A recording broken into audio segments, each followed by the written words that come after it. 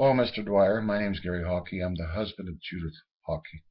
Uh, you asked me to contact you and send you a video of what my comments were. Okay, the first thing I would like to go on about is uh, Judith had her arm around the boy. A neighbor looked through the window and made comments like, This is the day. Uh, okay. Well, I don't think it's, it was so much unusual for Judith to put her arm around that boy. And they say a picture's worth a thousand words. Uh, let me show you one right now, okay? That's Corey and Judith. Okay? Let me show you another one. Okay? Get it in there. Doesn't that arm look like it's around his shoulder? That's Judith again with Corey. Okay, so hopefully that will put an end to that. Uh, there were comments that he ran away because of football. Okay, well, that wasn't the issue. He did not want me to marry his stepmom. Okay, but we married anyway.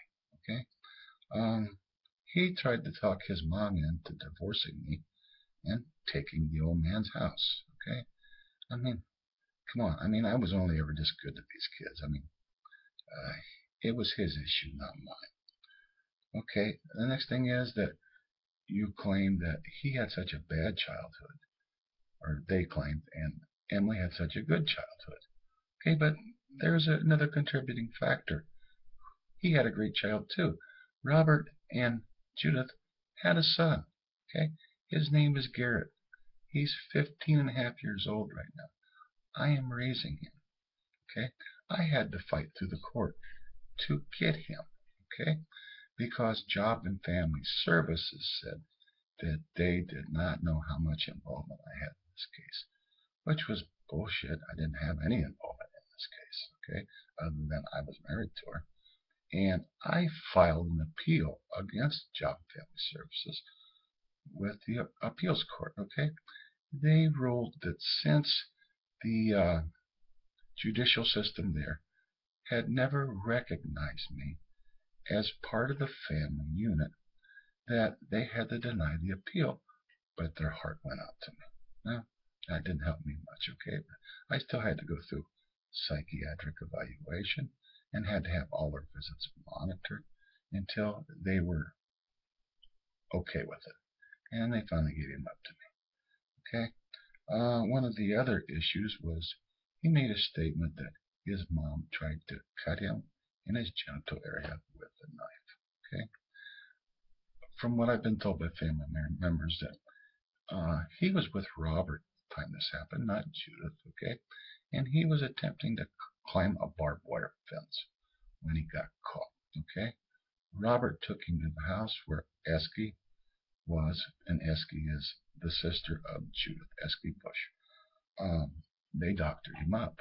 Okay, so the next thing I'd like to bring up where he told police that Judith was trying to poison me. I got subpoenaed to the grand jury and questioned about this, and I totally knocked it down there. And they once again brought it up again in the trial, where I had to knock it down again. Okay, which was upsetting me. Okay, Judith never tried to poison me. Okay, and uh, they also brought up that I raised the life insurance. Well, my agent came to me and goes, Gary, for what you're paying for your policy now, I can get you another $20,000 worth of coverage for the same money, or maybe a little less. Well, if you were me, wouldn't you jump on that? Which I did. The only thing I had to go through was a physical. Had the nurse come see me and draw blood and Zindel. Well, I got the results and all that back. Had in the car at the time she was arrested. Uh, the agents wanted that information, which I did provide, okay? But if she had tried to kill me, okay, certainly they could have went back to my employer, which I have an absolutely great employment record, and attendance was never an issue for me, okay? So uh, certainly if I was being poisoned, I'd be sick and not going to work, and there would be an absenteeism problem. So this is why they never had no basis for that. Uh, the next thing I wanted to bring up was, okay, the prosecution presented their case and then rested. Okay, now it's the defense's turn. Now, it's normal protocol, okay? You put the star on first, and then you bring in the collaborating witnesses. Where he did not testify at that time, and immediately my defense spoke up and says, well, if you ain't putting the star on, then all this evidence is hearsay because it all comes from the kid. Okay, well, they went into chambers, uh, recessed, and they come back, and the, and the judge allowed the prosecution to reopen the case, where at that time he did take a stand. Um, how did the murder weapon get into the house? Okay, I think this is a very relevant question. Uh, well, first of all, from what I was told, it was Robert's mother that brought the gun to the house and demanded Robert take that boy hunting. Okay. Uh, okay, I guess that kind of pretty much covers, but uh, he had such a bad childhood. I want to show you some more pictures. Okay, does that look like an unhappy kid? Didn't have anything? That's him on his dirt bike. Okay. Oh, wow. There's a good one. Here's a picture of his car. Okay. That Judith brought in. Here's a picture of him because the car was put in the car show and he got a trophy.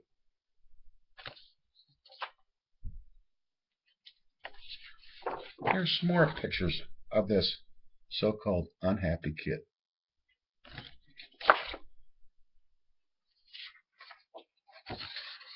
That's him with his sister Emily.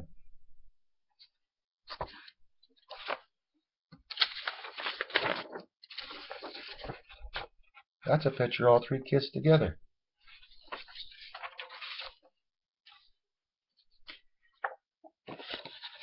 That look like an unhappy kid to you.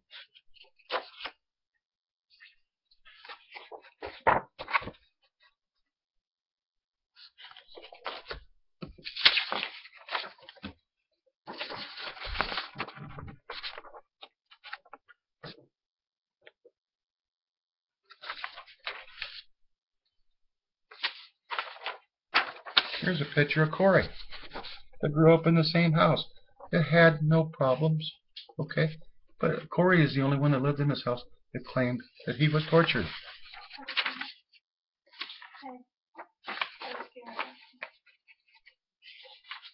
I'm sorry. This picture was a Garrett. Okay? Kind of rambling through them real quick. Here's another picture of Garrett. Another picture of Garrett. You know, my issue with all these kids, okay? They grew up on life insurance money. Their mom loved those kids to death, okay?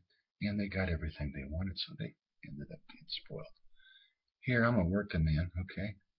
I work a Monday through Friday job. I come into the family and don't have that kind of income, okay?